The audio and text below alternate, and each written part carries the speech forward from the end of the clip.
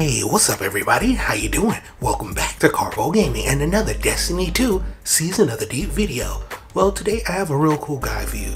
If you had any issues with the very first quest called Beneath the Waves, today I'm gonna walk you through it step by step through everything that you need to do. I got you covered. Let's go! Once again, thanks for watching everybody. Without further ado, let's get started. Now, I don't know about you, but when I started the game, they took me into the tower. I didn't really have any quest markers. I had to hit L2 to show that I need to complete Beneath the Wave mission and start it by launching it from the helm. So if you had any issues, you need to start this mission right here from the helm called the Descent, where you need to follow the signal.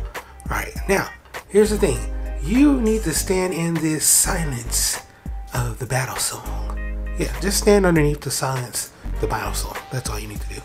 After that, you need to take out the celebrity, the big huge boss. So stand in all of the different spots that you need to silence the song.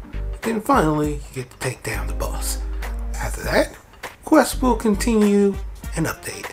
And now you need to reach the communication array, which some of you might have some issue with, but that's what these guys are for. You need to align the array. So just use the diagram underneath the silhouette of the satellite. And once it turns blue, you will align it with the array. So that's what you need to do.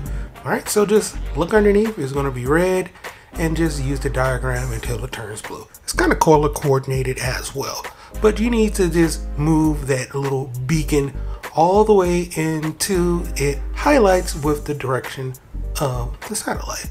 And after that, you're good to go. The quest will update and now we need to descend into the deep. But we really don't have anything to help us breathe or sustain our pressure. So the drifter is going to pull it back out and now we need to listen to the drifter.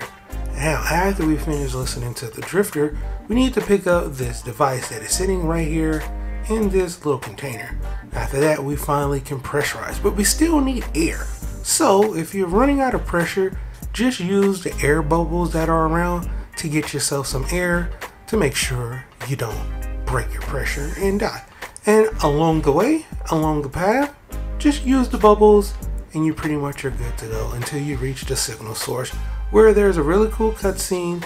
And at the end of it, Sloane will then say they will reconvene with Commander Zavala at the helm. Still, no really no quest update, but you hit L2, it will tell you to return to the helm over here.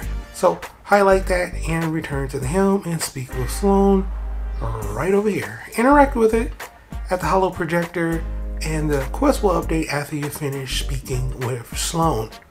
Alright, you now are at the sonar station and you finally have the brand new artifact for the season and we can also craft ourselves some of the new deep weapons so long as we meet those requirements. So boom, there you have it. Full step-by-step -step guide to the first initial quest to get you started off with the Season of the Deep. But for right now, that's pretty much going for the video, my guardian. I hope you truly enjoyed it. As always, if you're new to the channel, how you doing and welcome. Don't forget to subscribe right here at Gaming. Upload a wide variety of videos range from updates, tips and tricks, guides and news, and a whole lot more. So hopefully you enjoyed this video. Once again, thank you everybody for all your love and support. And as always, I'll be seeing y'all in the next one. Later.